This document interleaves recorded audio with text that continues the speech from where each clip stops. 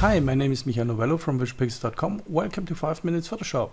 Here I present you fast and effective Photoshop effects and techniques in 5 minutes or less. Today we are going to create a dramatic look, a dramatic desaturated look.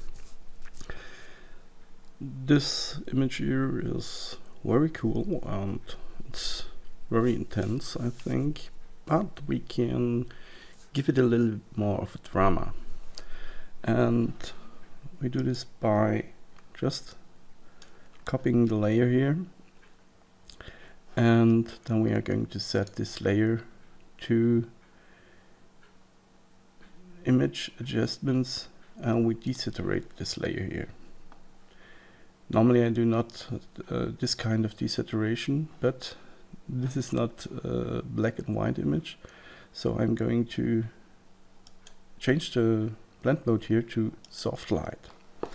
And this gives the image a real high contrast look here.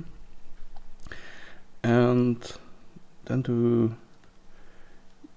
give it a last kick, this desaturated look, I'm going to add a black and white adjustment layer. And I lower the opacity to about 50, 40 to 50 something like that. And I'm going to adjust the reds just a little bit here.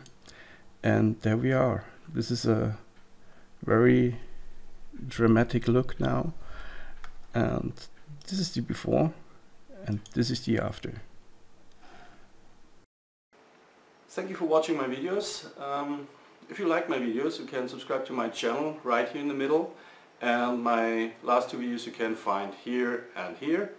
And if you really like my videos you can support me on patreon.com here's the link. And thanks again. And see you next time. Bye